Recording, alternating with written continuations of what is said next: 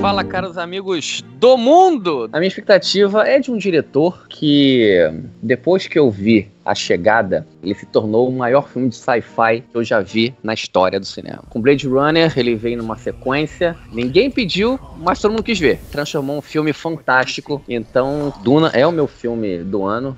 There's a crusade coming. O Villeneuve, eu gosto de todos os filmes que ele fez, são filmes que eu adoro. Ganhou carta branca comigo depois do Blade Runner. Assim, o que ele fizer, eu vejo sem questionar. E a expectativa para esse filme é assim, altíssima. You inherit too much power. You have proven you can rule yourself. Now you must learn to rule others. Something none of your ancestors learned. Baseado no clássico do Frank Herbert, e o livro que é um tá lá no panteão dos maiores clássicos literários da ficção científica, né? Que tem influências em diversos filmes de ficção científica por aí, inclusive o próprio Blade Runner. Que é considerado, em termos de grandiosidade, o Senhor dos Anéis do sci-fi. One day, the legend will be born.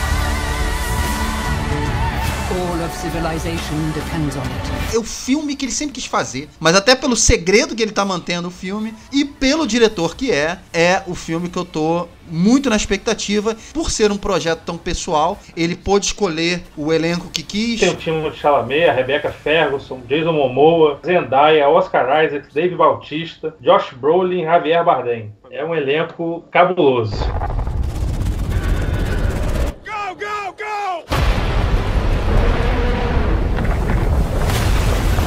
Expectativa tá lá no alto com esse diretor que não precisa provar mais nada. Denis Villeneuve é um cara abençoado, eu estarei lá junto também na primeira fila quando estrear.